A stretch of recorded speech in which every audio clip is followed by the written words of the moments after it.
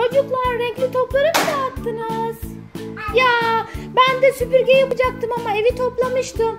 Şimdi ne yapacağız? Caner ve Elis renkli topları kırmızı kutunun içine koyacaklar. Anne süpürgelerden topları çekelim mi? Süpürgeyle topları çekmek mi istiyorsun Caner? İyi peki o zaman. Ben süpürgenin fişini takıyorum. Topları siz süpürgeyle çekiyorsunuz. Anlaştık mı çocuklar?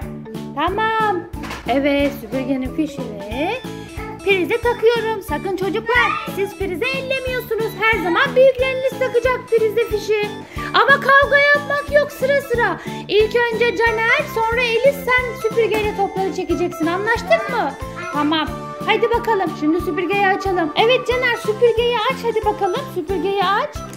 Tamam. Hadi bunu da al. Tek tek çekin topları. Aa ne güzel çekildi. Hadi onu şimdi kırmızı kovanın içine koyalım. Evet Caner kırmızı topu çekti. Kırmızı kovanın içine koyuyor. De sıra Eliz'de. Eliz çekecek. Aa Eliz sen kırmızı topları, sarı topları çekiyorsun süpürgeyle.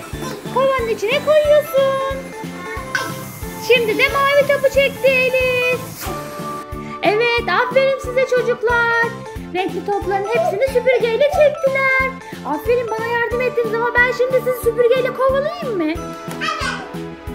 Tut şunları tut tut tut tut. Aa çektim seni süpürgeyle.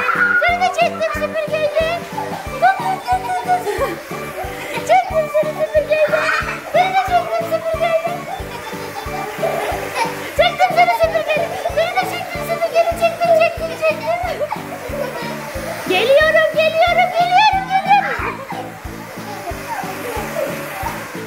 Sizi yine çekeyim mi süpürgeyle? Evet seni de çekeyim mi süpürgeyle? Hazır mısınız çocuklar?